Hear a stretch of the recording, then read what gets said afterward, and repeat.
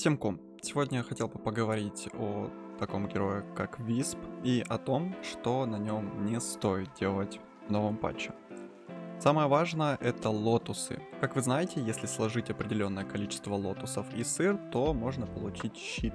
На виспе это никогда не стоит делать. На самом деле и на обычных героях это очень слабо, потому что то лечение, которое можно восстановить с помощью лотусов, намного сильнее, чем этот щит.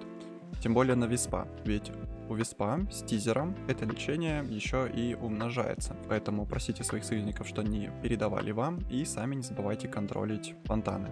Никогда не покупай грифсы на виспе, потому что это трата денег впустую. Даже если ты играешь против Silence а, то лучше купить Лотус, он даст намного больше, чем грифсы. Ты сможешь накинуть его как на себя, чтобы скинуть Silence, так и на своего кора. Вообще не стоит покупать э, никакие сапоги на виспа, это логично, у него же нет ног. Но если без шуток, то любые сапоги на виспа ему просто не нужны. Те же самые арканы, чтобы восстанавливать ману, можно заменить нейтральной шмоткой Arcane Ring с первого тира, лопаткой, которая даст тебе дополнительные расходники, или просто обычным Soul Ring ом, который даст тебе небольшие статы, стоит немного дешевле, и также у тебя будет бесконечная мана. Если ты апнул 25 level и логично, что взял талант на тычки от тизера, то не стоит покупать сразу же шмотки на урон по типу дизолятора, МКБ, Дейдалуса и так далее. На самом деле выгоднее всего будет купить сатаник, потому что он даст тебе также и хп, урон, вампиризм и плюс, соответственно, когда ты его будешь прожимать, то будешь регенить своего кора и себя на full хп. Умереть под сатаником активированным практически невозможно. Не забывай юзать Relocate, если он тебе не требуется в ближайшее время, то юзать на фонтаны, чтобы брать лотусы, собирать, и также каждые 7 минут контролить руну мудрости. Можно контролить как свою руну, так и, соответственно, руну соперников. Но это нужно делать аккуратно, ведь соперники не дураки и тоже хотят халявную экспо. И самое важное, что беспокоит всех виспопикеров, потому что дискуссий очень много, что первее собирать, Холли Локет или Меку.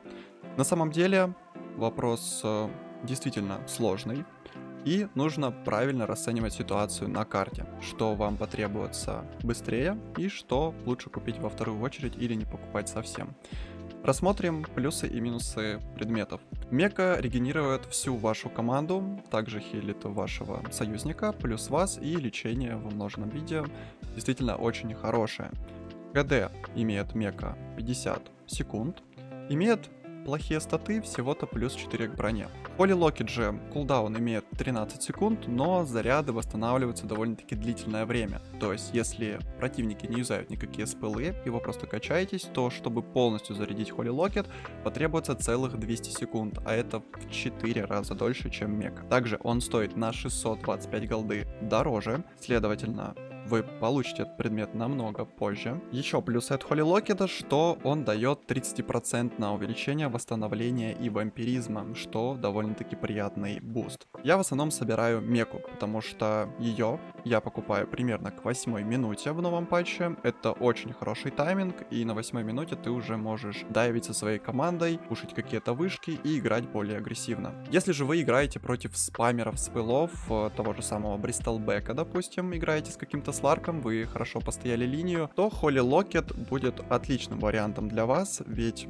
Противники будут спамить спелами, вы будете быстро заряжать этот Холли Локет и юзать каждые 13 секунд. Поэтому Холли Локет в этом случае намного выгоднее, чем Мека. Висп теперь универсал. И Холли Локет дает плюс 10 ко всем атрибутам. Следовательно, это плюс 30 статов для Виспа, что очень даже симпатично выглядит. Какой-то одной стопроцентной сборки на Виспа не существует. Все очень зависит от ваших союзников и от ваших соперников. Билд всегда ситуативный. Надеюсь, что видео вам понравилось, ты узнал что-то новое. Подписывайся на канал, ставь лайк. Всего доброго и хорошего тебе дня.